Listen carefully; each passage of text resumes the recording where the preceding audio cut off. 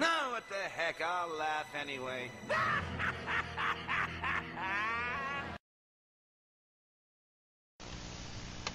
Hey everybody, JokerFett here with another video, this time bringing you guys yet another Marvel figure review. Uh, this time of the, uh, brace yourself, this is a long title. The Amazing Spider-Man movie series 6-inch Spider-Man with interchangeable head, and it's a Walmart exclusive. So yeah, um, really cool figure, but it does have its problems, which I think holds it back from being a great figure. So, but before I get into talking about the figure itself, uh, let's have a look at the card back it comes on.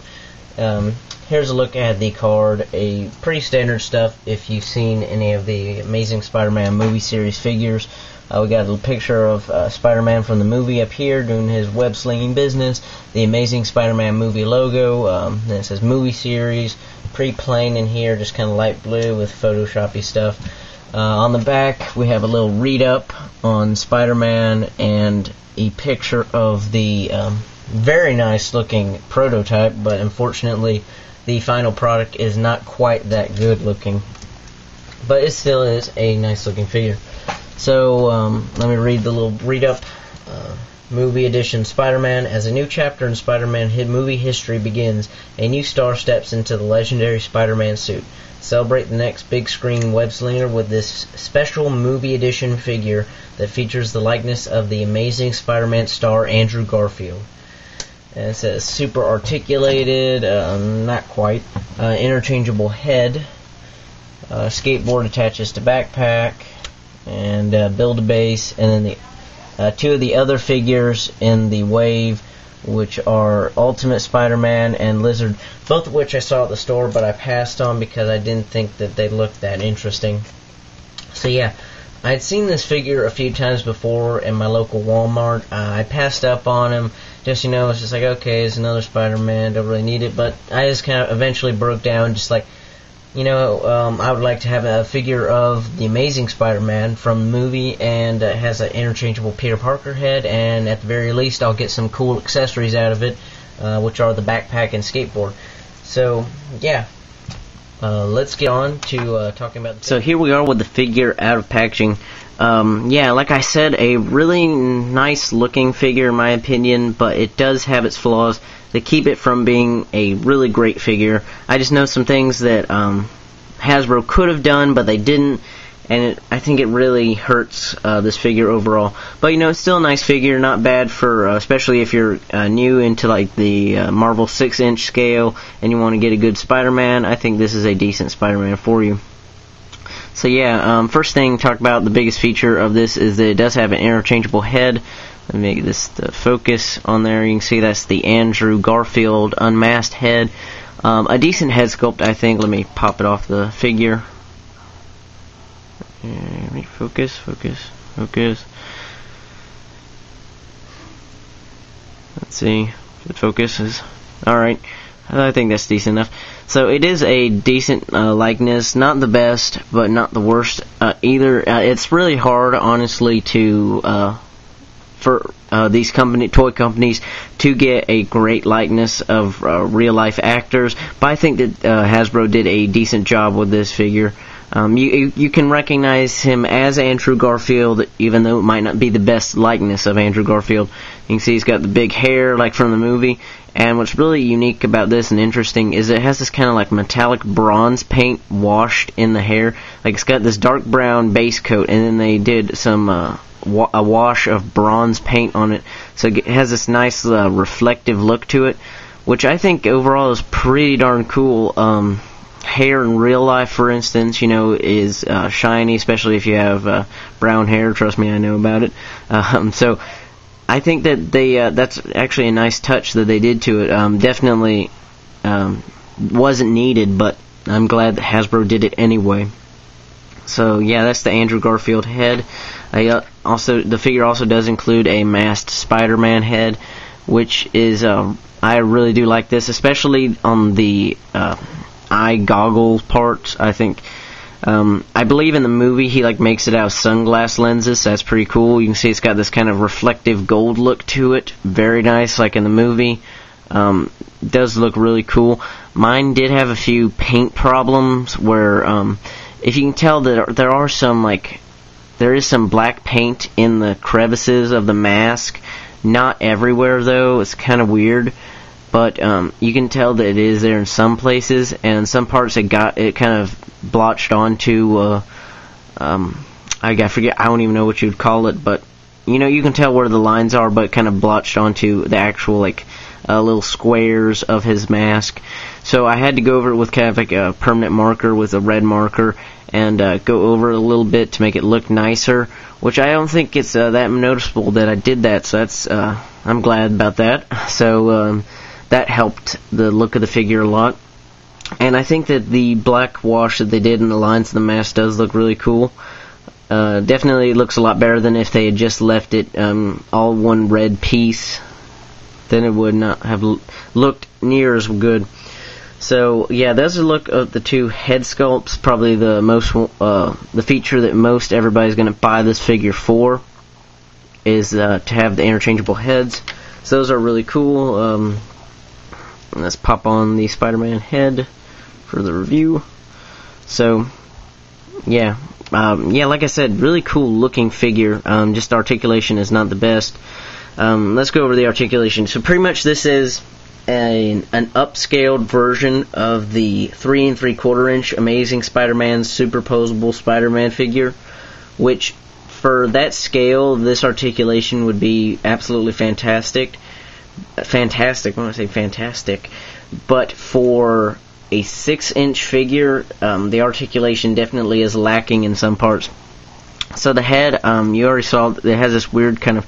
This reminds me of old Toy Biz neck articulation, where you just pop the head. It's like on this kind of uh, uh, stick uh, out that's poking out of this joint here. You can that moves up and down. So it's not a ball and peg. I guess I don't really know what you'd call this joint really. But um, you do get a decent range of motion. He can look full 360 around and up. Um, you can look about that much up. However, if you uh, since this is interchangeable, you can push this thing back all the way, and if you want to, you can uh, put put the head on like that. It looks a little weird if it's that back that much, but say like right here, if you want to have him looking up like that, um, you can just have it his head kind of half resting on the joint, so you can get him to look up a really good bit. Um, enough, at least for a Spider-Man figure that you'd want for posing. And he can look down a good bit too, you know, kind of sad Spider-Man. Uncle Ben just died, I'm sad. Uh, that kind of thing. Anyway, um, he has this kind of ball-jointed, uh, I think, what am I thinking? Shoulder, yeah. Sorry. A little bit tired while I'm doing this review, probably not the best combination, but I will make do. Um, he can rotate right here. He has double jointed elbows, and his wrist can go up and down and spin. So the arms are nice, even though what I really wish it had a uh, wrist joint, or not a wrist, but kind of like a glove joint. That would have made things a lot cooler, I think. Uh, just personal preference. Um, same thing for the other arm, though a big complaint I have with this figure is it does not have a web slinging hand. You have a Spider Man figure that does not have a web slinging hand. What is up with that? Hasbro, do you not realize that the main thing people buy Spider Man figures for so they can have web slinging? And you don't have web slinging hand? Come on. That's just not smart in my opinion, but anyway, I'm not one to judge. So he does have this kind of like gripping, wall crawling type hand, and he has a fist, so that's cool. But so you can get him in some cool like web uh, wall crawling poses, or like he's beating up some thugs, that stuff. But you cannot have him web slinging, which is a disappointment. So um, at the end of this review, I'm going to compare this figure with a Toy Biz uh, Spider-Man 2 Spider-Man, so you can just see how they did so many things right back then that Hasbro still is not doing right now. So anyway, um, moving on to another big complaint of mine is the um, articulation in this area of the body, the midsection. He has this diaphragm joint, which is meh. I'm not a big fan of diaphragm joints, to be honest. I, I think that they don't really work that well. You can't get a lot of motion out of them. So he can he can bend down about that much with the diaphragm joint, which is not a lot at all. Um, and he can go up. Oh, accidentally pop off the head. Um, he can go up about that much, which is still not that great. I do like, however, that they continued the uh, paint underneath here, so if you have him looking up a bit, it still looks like the spider symbol is consistent, which is something they did not do on the back of the figure, which I'll talk about in just a sec. Need to remove this backpack from him. Um, so yeah, the diaphragm joint you can look around a bit. Um, it you get some resistance after you turn it about that much, and you can see that the spider logo is no longer uh, lining up which I really wish this thing had an actual waist joint. It does not have a waist joint at all. You can see it's just sculpted. So if they had a waist joint, then you can have him turning around with the um, the spider logo still remaining like straight on consistent, but they don't have that for some reason. I don't get it. Um, so yeah, that's uh, fairly disappointing. Um, it would work on a three and three quarter inch scale, but on a six inch scale, that's just sad. So um, he has this kind of ball. I think it's Y joint is what you call it at the uh, at the hip. So you can get him in some decent poses there. He has double jointed knees and another articulation problem I have. I wish he had like some kind of articulation here, like at the boot, I guess you would say. But he doesn't. So that also limits um, the posability of him. But he does. He, he can point his toe and flex it uh, a little bit, flex it a little bit, but point it, and he does have an ankle pivot, so you can get him in some wide-legged stances. So you can get him, in, you can still get him in some cool Spider-Man stances. Don't get me wrong, but I just think that if Hasbro had made those small, minor touch-ups with the articulation, like um, a waist joint, I mean seriously, a figure without a waist joint, it's just sad. Um, and like having a, a swivel here, like kind of like the boot area it just would have made things a lot better. Um, but yeah, the the paintwork on this guy is pretty darn good. The sculpting is nice. You can feel when you feel the figure, it is textured. Uh, it does have like the Spider-Man suit uh, texture on it, so that's really nice. Um, maybe you can see it on camera, maybe you can't, but focus on that. I don't know if you can tell or not on the camera. But um, it is textured nicely, and the paintwork is for the most part neat. Um, it does it is a little sloppy at parts. Like I said, I talked about the mask had a little bit of black paint leaking on it, but I, I fixed that with a marker. And um, yeah, the Spider-Man logo is painted on there nicely. Let's talk about the accessories he has. Um, we already talked about the Andrew Garfield head. Let me talk about his backpack and skateboard real quick. So as you can see, the backpack does fit on him nicely. I, I, I actually prefer just um, having him displayed with the backpack on than with it off. Actually, that's I don't know if that's kind of weird or not, but I think they he does look really cool with the backpack. Um, looks like you know he's just got off school and he's uh, going and uh, doing some crime fighting. You know, uh, maybe he has his camera in his backpack. He's gonna take some pictures of Spider-Man kicking butt, up to J. Jonah Jameson, whatever. Uh, there we go. So, uh, yeah, let me give you guys a shot at the back of the figure. So you can see there's the Spider-Man logo on the back. Uh, I actually think that they used that logo in the promotional material for the movie more than they did the front one. That's kind of weird. But um, whereas on the front, if you put the diaphragm joint up, you can see that the lines on the spider still continue up. Um, if you point it down, the lines just have a little break there. I don't get that. Why is there a break in the paint? So, I mean, if you're going to do it for the front, why not do it for the back? I guess they're counting on people having Spider-Man displayed at all times with this backpack on. But that would have been nice if they had continued that paint. So, um, on the back, it only looks really good if you have him like kind of standing straight up. So yeah, you can see there's kind of like the belt area and continues around back of the head and whatnot. So that's what he looks like um, without the backpack on. So cool. Let me adjust the camera up a bit. There we go. So uh, the accessories, I do really like the accessories. I think that's really cool. Um, let me take this skateboard out of the strap on the backpack. There we go. So we can talk about the backpack. Uh, for the most part, it's just this solid kind of baby blue, sky blue uh, paint. Would have been nice to have some more paint details, but it is just after all a backpack. Um, there is some like gray paint for the, these straps, and he does have a cloth uh, black strap so you can put the skateboard on there, which is really nice. Moving on to the skateboard, um, nice uh, sculpt work on the skateboard. Actually, really nice. Um, you can see it feels kind. Of, if you've ever touched a skateboard, that um, this feels like that.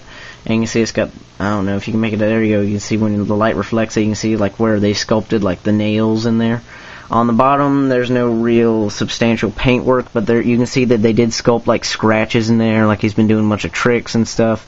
I'm I'm sorry, I don't really know any skateboard terminology, but um, I guess he's been like grinding on the rails and stuff.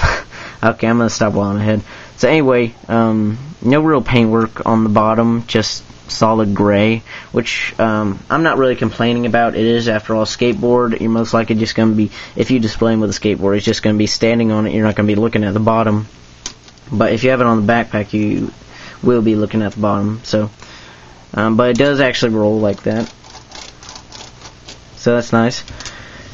And uh, yes, those. Are, oh, and uh, the build a base, which I, I don't really think this that I don't really think that they're th- that bad as some people think, but I'm not really a fan of it either.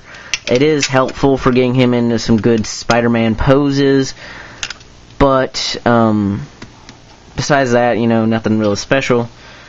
You can get him standing on there nicely. You can hold it upside down. So I guess if you're doing a diorama and you wanted to have him like crawling on the walls, that'd be helpful if you wanted to attach that to the ceiling or something. So yeah, build a base. You can stack them, connect them, whatever you want to do with them. And so that's pretty much it for uh, my review of the Walmart exclusive Amazing Spider-Man movie series, Spider-Man with interchangeable head. Um, there he is with the Andrew Garfield head again, which I do think. Actually I think I'm not sure if I'd like. It's kind of difficult. Um, I do really like this Spider-Man head sculpt again with the really nice gold paint on the eyes. But I do think I like uh, the look of the figure better with the Andrew Garfield head sculpt. I just think it looks really nice. So yeah, not a bad figure for 16 bucks. Um, Hasbro definitely could have done better. Again, uh, I just see places where Hasbro got lazy, um, where they could have improved the articulation from three and three quarter inch one, but they didn't. But that's just Hasbro now, isn't it? It's sad because the Marvel Select Amazing Spider-Man actually has more articulation than this Legend scale one, which that's just sad. I mean, Marvel Selects are known for not having a whole lot of articulation, yet the Amazing Spider-Man has more articulation than the Hasbro one. So yeah, not a bad figure. Um, Hasbro could have done better, but uh, still looks really good when you have him in some like wall crawling poses. Again, disappointing you don't have a web slinging hand, but um, not that um, I'm not that torn up over it. So cool figure. I recommend buying it if um, you have the chance, especially if you're new to collecting Marvel Legends scale figures. Uh, this one isn't terrible. It just isn't great either. So, yeah, that's my review of it. Um, a quick, a little info before I go that this next Saturday, the 16th, I will be in part of another live stream by RF Biker Scout. We're going to be talking about all kinds of uh, uh, toy announcements at Toy Fair, uh, talking about uh, a lot of Star Wars stuff uh, is going to be the focus, obviously. You know, uh, the vintage collection vehicles, the Black Series, all that should be really cool. And I also want to mention that I uh, am going to be voicing Ben Kenobi in uh, Zombie Slayers Nation's uh, Star Wars stop motion, so that should be cool. Uh, thank you for picking me, Ryan, if you're watching this. And that is about it. So, yeah, Amazing Spider-Man. Also a good movie, so go watch it. So, thank you guys for watching as always. This is JokerFett, signing out. Bye.